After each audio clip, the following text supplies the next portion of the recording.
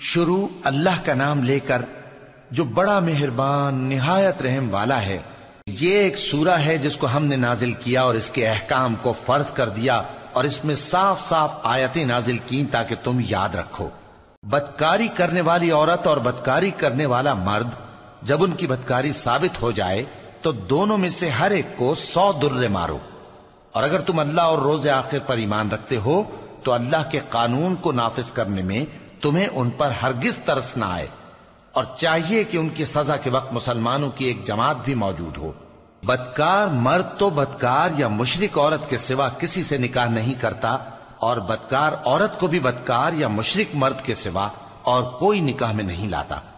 और ये यानी बदकार औरत से निकाह करना मोमिनों पर हराम है। और जो लोग परहेजगार औरतों को बदकारी का ऐब लगाएँ और उस पर चार गवाह न लाएँ तो उनको अस्सी दुर्रे मारो और कभी उनकी शहादत कबूल न करो और यही बद किरदार है। हाँ, जो उसके बाद तौबा कर लें और अपनी हालत संवार लें तो अल्लाह भी बख्शने वाला है, मेहरबान है।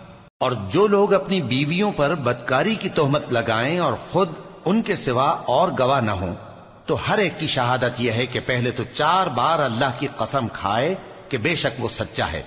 और पांचवी बार यह कहे कि अगर वो झूठा हो तो उस पर अल्लाह की लानत। और औरत से सजा को यह बात टाल सकती है कि वो पहले चार बार अल्लाह की कसम खाए कि बेशक ये झूठा है। और पांचवी दफ़ा यूँ कहे कि अगर ये सच्चा हो तो मुझ पर अल्लाह का गजब नाजिल हो। और अगर तुम पर अल्लाह का फजल और उसकी मेहरबानी ना होती तो बहुत सी खराबियाँ पैदा हो जाती। और ये कि अल्लाह तौबा कबूल करने वाला है हकीम है। जिन लोगों ने ये बोहतान बांधा है, वो तुम्ही में से एक जमात है। उसको अपने हक में बुरा ना समझना, बल्कि वो तुम्हारे लिए अच्छा है। उनमें से जिस शख्स ने गुनाह का जितना हिस्सा लिया, उसके लिए उतना वबाल है। और जिसने उनमें से उस बोहतान का बड़ा बोझ उठाया है, उसको बड़ा अजाब होगा। जब तुमने वो बात सुनी थी तो मोमिन मर्दों और औरतों ने क्यों अपने दिलों में नेक गुमान न किया? और क्यों न कह दिया कि ये खुल्लम खुल्ला बोहतान है? ये बोहतान लगाने वाले अपनी बात की तस्दीक के लिए चार गवाह क्यों ना लाए? तो जब ये गवाह नहीं ला सके तो अल्लाह के नज़दीक यही झूठे हैं। और अगर दुनिया और आखिरत में तुम पर अल्लाह का फजल और उसकी रहमत न होती तो जिस शक्ल में तुम मुनहमिक थे, उसकी वजह से तुम पर बड़ा सख्त अजाब नाजिल होता। जब तुम अपनी जबानों से उसका एक दूसरे से ज़िक्र करते थे और अपने मुँह से ऐसी बात कहते थे, जिसका तुमको कुछ भी इल्म न था। और तुम उसे एक हल्की बात समझते थे। हालाँकि अल्लाह के नज़दीक वो बड़ी भारी बात थी। और जब तुमने उसे सुना था तो क्यों ना कह दिया कि हमें शाया नहीं कि ऐसी बात जबान पर लाएँ? परवरदिगार, तू पाक है, ये तो बहुत बड़ा बोहतान है। अल्लाह तुम्हें नसीहत करता है कि अगर मोमिन हो तो फिर कभी ऐसा काम न करना। और अल्लाह तुम्हारे समझाने के लिए अपनी आयतें खोल खोल कर बयान फरमाता है और अल्लाह जानने वाला है, हिकमत वाला है। जो लोग इस बात को पसंद करते हैं कि मोमिनों में बेहयाई यानी तोहमत बदकारी की खबर फैले, उनको दुनिया और आखिरत में दुख देने वाला अजाब होगा। और अल्लाह जानता है और तुम नहीं जानते। और अगर तुम पर अल्लाह का फजल और उसकी रहमत ना होती तो क्या कुछ ना होता। मगर वो करीम है।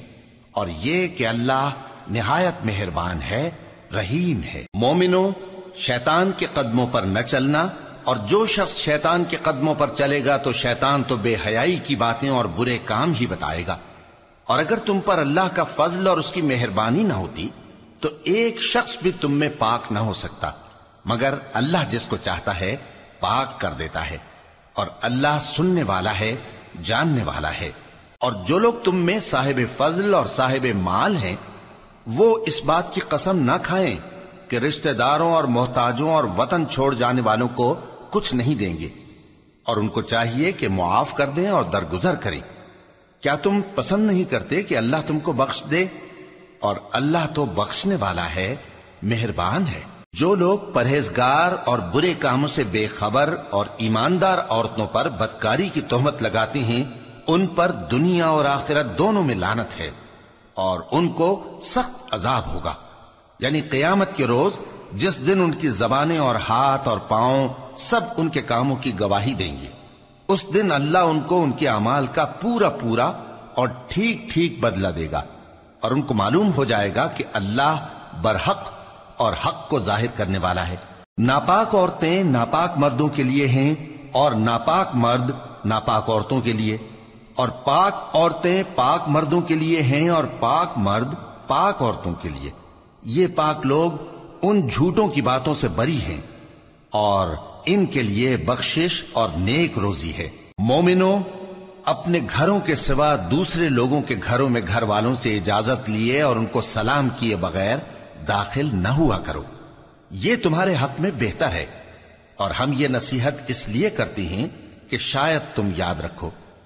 फिर अगर तुम घर में किसी को मौजूद ना पाओ तो जब तक तुमको इजाज़त न दी जाए, उसमें मत दाखिल हो।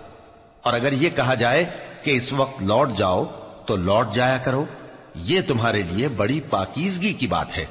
और जो काम तुम करते हो, अल्लाह सब जानता है। हाँ, अगर तुम किसी ऐसे मकान में जाओ, जिसमें कोई न बसता हो, और उसमें तुम्हारा असबाब रखा हो तो तुम पर कुछ गुना नहीं। और जो कुछ तुम ज़ाहिर करते हो, और जो पोशीदा करते हो अल्लाह को सब मालूम है। मोमिन मर्दों से कह दो कि अपनी नज़रें नीची रखा करें और अपनी शर्मगाहों की हिफाजत किया करें।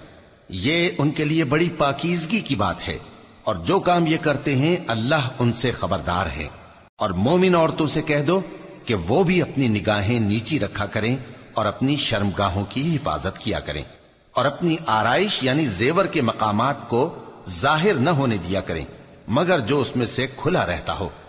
और अपने सीनों पर ओढ़नियाँ ओढ़े रहा करें और अपने खाविंद और बाप और खुसर और बेटों और खाविंद के बेटों और भाइयों और भतीजों और भांजों और अपनी जैसी मोमिन औरतों और लौंडी गुलामों के सिवा नीज उन खुदाम के जो औरतों की ख्वाहिश न रखें या ऐसे लड़कों के जो औरतों के पर्दे की चीज़ों से वाकिफ न हो। गरज इन लोगों के सिवा किसी पर अपनी जीनत और सिंगार के मकाम को ज़ाहिर न होने दें और अपने पाँव ऐसे तौर से ज़मीन पर न मारे कि झंकार कानों में पहुँचे और उनका पोशीदा जेवर मालूम हो जाए। और मोमिनो, सब अल्लाह के आगे तौबा करो ताकि फलाह पाओ। और अपनी कौम की बेवा औरतों के निकाह कर दिया करो और अपने गुलामों और लौंडियों के भी जो नेक हो निकाह कर दिया करो। अगर वो मुफलिस होंगे तो अल्लाह उनको अपने फजल से गनी कर देगा। और अल्लाह बहुत वसत वाला है, सब कुछ जानने वाला है। और जिनको ब्याह का मकदूर न हो, वो पाक दामनी को इख्तियार किए रहें, यहाँ तक कि अल्लाह उनको अपने फजल से गनी कर दे। और जो गुलाम तुमसे मुकातबत यानी माल देकर परवाना आज़ादी की तहरीर चाहें, अगर तुम उनमें सलाहियत और नेकी पाओ तो उनसे मुकातबत कर लो।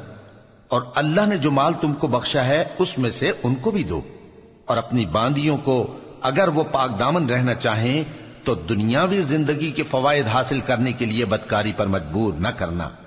और जो उनको मजबूर करेगा तो उन बिचारियों के मजबूर किए जाने के बाद, अल्लाह बख्शने वाला है, मेहरबान है। और हमने तुम्हारी तरफ़ रोशन आयतें नाजिल की हैं, और जो लोग तुमसे पहले गुजर चुके हैं, उनकी खबरें और परहेजगारों के लिए नसीहत। अल्लाह आसमानों और ज़मीन का नूर है। उसके नूर की मिसाल ऐसी है कि गोया एक ताक है, जिसमें एक चराग है और चराग एक किंदील में है। और किंदील ऐसी साफ़ शफाफ है कि गोया मोती का सा चमकता हुआ तारा है। उसमें एक मुबारक दरख्त का तेल जलाया जाता है, यानी जैतून का, कि न मशरक की तरफ़ है, न मगरब की तरफ़। ऐसा मालूम होता है कि उसका तेल खाह आग उसे न भी छुए, जलने को तैयार है। बड़ी रोशनी पर रोशनी हो रही है। अल्लाह अपने नूर से जिसको चाहता है, सीधी राह दिखाता है और अल्लाह जो मिसालें बयान फरमाता है तो लोगों के समझाने के लिए। और अल्लाह हर चीज़ से वाकिफ है। वो किंदील उन घरों में है जिनके बारे में अल्लाह ने इरशाद फरमाया है कि बुलंद किए जाएँ और वहाँ अल्लाह के नाम का ज़िक्र किया जाए। और उनमें सुबह शाम उसकी तस्बीह करते हैं। ऐसे लोग जिनको अल्लाह के ज़िक्र और नमाज़ पढ़ने और जक़ात देने से न सौदागरी गाफिल करती है, न खरीदो फरोख्त। वो उस दिन से जब दिल खौफ और घबराहट के सबब उलट जाएँगे और आँखें ऊपर चढ़ जाएँगी, डरते हैं, ताकि अल्लाह उनको उनके अमाल का बहुत अच्छा बदला दे और अपने फजल से ज़्यादा भी अता फरमाए। और अल्लाह जिसको चाहता है बेहिसाब रिस्क देता है। और जिन लोगों ने कुफ्र किया, उनके अमाल की मिसाल ऐसी है जैसे मैदान में रेत के प्यासा उसे पानी समझे। यहाँ तक कि जब उसके पास आए तो उसे कुछ भी ना पाए और अल्लाह ही को अपने पास देखे तो वो उसे उसका हिसाब पूरा पूरा चुका दे और अल्लाह जल्द हिसाब करने वाला है। या उनके अमाल की मिसाल ऐसी है जैसे गहरे समंदर में अंधेरे, जिस पर लहर चढ़ी चली आती हो और उसके ऊपर और लहर आ रही हो और उसके ऊपर बादल हो, गरज अंधेरे ही अंधेरे हो। एक पर एक छाया हुआ, जब अपना हाथ निकाले तो कुछ न देख सके। और जिसको अल्लाह रोशनी न दे, उसको कहीं भी रोशनी नहीं मिल सकती। क्या तुमने नहीं देखा कि जो लोग आसमानों और ज़मीन में हैं, अल्लाह की तस्वीर करते रहते हैं और पर फैलाए हुए परिंदे भी, और सब अपनी नमाज़ और तस्बीह के तरीके से वाकिफ हैं? और जो कुछ वो करते हैं, सब अल्लाह को मालूम है। और आसमान और ज़मीन की बादशाही अल्लाह ही के लिए है और अल्लाह ही की तरफ़ लौट कर जाना है। क्या तुमने नहीं देखा कि अल्लाह ही बादलों को चलाता है, फिर उनको आपस में मिला देता है, फिर उनको तह बतह कर देता है? फिर तुम देखते हो कि बादल से में निकल कर बरस रहा है और आसमान में जो ओलों के पहाड़ हैं, उनसे ओले नाजिल करता है तो जिस पर चाहता है उसको बरसा देता है। और जिससे चाहता है, हटा रखता है। और बादल में जो बिजली होती है, उसकी चमक आँखों को खीरा करके बीनाई को उचके लिए जाती है। अल्लाह ही रात और दिन को बदलता रहता है। अहले बसारत के लिए इसमें बड़ी इबरत है। और अल्लाह ही ने हर चलने फिरने वाले जानदार को पानी से पैदा किया तो उनमें से बाज ऐसे हैं कि पेट के बल चलते हैं और बाज ऐसे हैं जो दो पाँव पर चलते हैं और बाज ऐसे हैं जो चार पाँव पर चलते हैं। अल्लाह जो चाहता है पैदा करता है। बेशक अल्लाह हर चीज़ पर कादिर है। हम ही ने रोशन आयतें नाजिल की हैं और अल्लाह जिसको चाहता है सीधे रास्ते की तरफ़ हिदायत करता है। और बाज लोग कहते हैं कि हम अल्लाह पर और रसूल पर ईमान लाए और उनका हुक्म मान लिया। फिर उसके बाद इनमें से एक फरीक फिर जाता है और ये लोग साहिब ईमान ही नहीं है। और जब इनको अल्लाह और उसके रसूल की तरफ़ बुलाया जाता है ताकि पैगंबर इनका कजिया चुका दें तो इनमें से एक फरीक मुँह फेर लेता है। और अगर इनको हक मिलता हो तो उसकी तरफ़ कबूल करके चले आते हैं। क्या इनके दिलों में बीमारी है? या ये शक में है? या इनको ये खौफ है कि अल्लाह और उसका रसूल इन पर जुल्म करेंगे? नहीं, बल्कि ये खुद ही जालिम है। मोमिनों की तो ये बात है कि जब अल्लाह और उसके रसूल की तरफ़ बुलाए जाएँ ताकि वो इनमें फैसला करें तो कहें कि हमने हुक्म सुन लिया और मान लिया। और यही लोग फलाह पाने वाले हैं। और जो शख्स अल्लाह और उसके रसूल की फर्मा बरदारी करेगा और उससे डरेगा और उसका तकवा इख्तियार करेगा तो ऐसे ही लोग मुराद को पहुँचने वाले हैं। और ये अल्लाह की सख्त सख्त कस्में खाते हैं कि अगर तुम इनको हुक्म दो तो सब घरों से निकल खड़े हों। कह दो कि कस्में मत खाओ, पसंदीदा फर्मा बरदारी दरकार है। बेशक अल्लाह तुम्हारे सब अमाल से खबरदार है। कह दो कि अल्लाह की फर्मा बरदारी करो और रसूल के हुक्म पर चलो। अगर मुँह मोड़ोगे तो रसूल पर उस चीज़ का अदा करना है जो उनके जिम्मे है और तुम पर उस चीज़ का अदा करना है जो तुम्हारे जिम्मे है। और अगर तुम उनके फरमान पर चलोगे तो सीधा रास्ता पालोगे और रसूल के जिम्मे तो साफ़ साफ़ पहुँचा देना है। जो लोग तुम में से ईमान लाए और नेक काम करते रहे, उनसे अल्लाह का वादा है कि उनको मुल्क का हाकिम बना देगा। जैसा उनसे पहले लोगों को हाकिम बनाया था और उनके दीन को जिसे उसने उनके लिए पसंद किया है, मुस्तहकम उपायदार करेगा और खौफ के बाद उनको अमन बख्शेगा।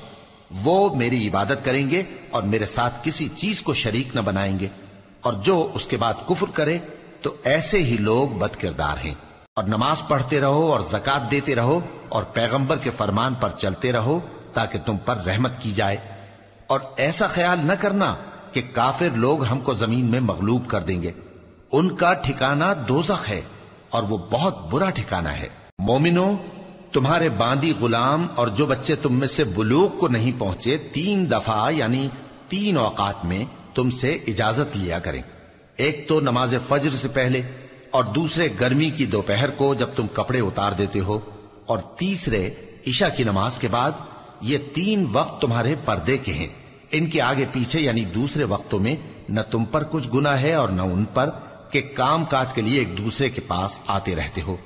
इस तरह अल्लाह अपनी आयतें खोल खोल कर बयान फरमाता है और अल्लाह बड़ा इल्म वाला है, बड़ा हिकमत वाला है। और जब तुम्हारे लड़के बालिग हो जाएँ तो उनको भी उसी तरह इजाज़त लेनी चाहिए जिस तरह उनसे अगले यानी बड़े आदमी इजाज़त हासिल करते रहे हैं। इस तरह अल्लाह तुमसे अपनी आयतें खोल खोल कर बयान फरमाता है और अल्लाह जानने वाला है, हिकमत वाला है।